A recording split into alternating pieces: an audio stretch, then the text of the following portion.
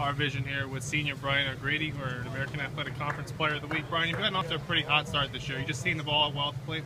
Yeah, I just um, seeing the ball well. I'm nice and relaxed at the plate. Uh, I'm not missing good pitches to hit right now, and uh, they just seem to be uh, keep coming. So uh, hopefully I can keep going. What do you take out of the team's performance at Old Dominion last weekend?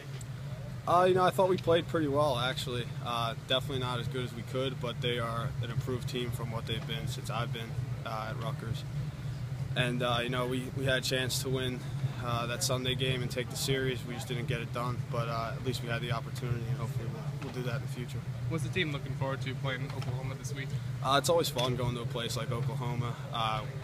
I don't know the last time Rutgers has gone there as a team. This is my first time going anywhere near there and uh, you know, pretty big school, so it's definitely gonna be a lot of fun.